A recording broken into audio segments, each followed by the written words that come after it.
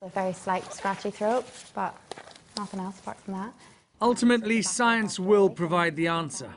But right now, it's still trying to catch up with this novel virus. Here at this private cancer clinic, staff are being screened to see if they've produced antibodies to COVID 19.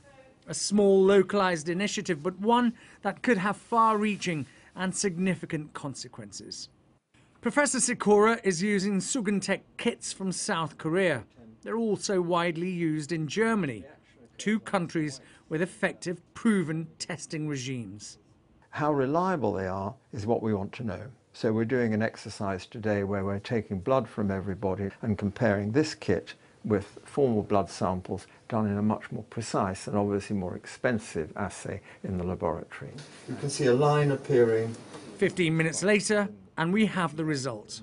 So this test is telling me I haven't built up an immune response to COVID 19, which probably means I've never been infected. The £10 kits need further validating.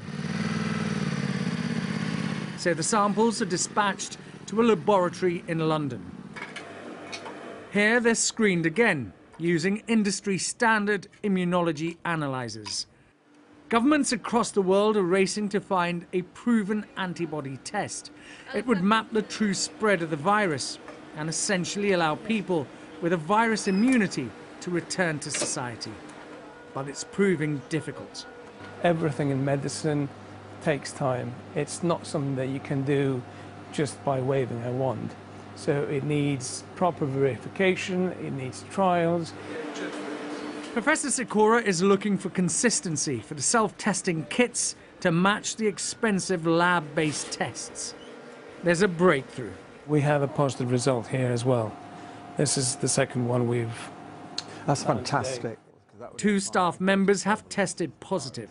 Not only are they positive in this complex laboratory-based assay, which is very precise, they're also positive on the China kits and on the Korean kits. They're immune and hopefully they're completely healthy and can work normally from now on.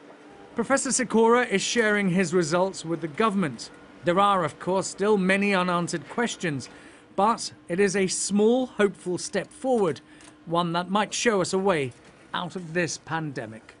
Ashish Joshi, Sky News.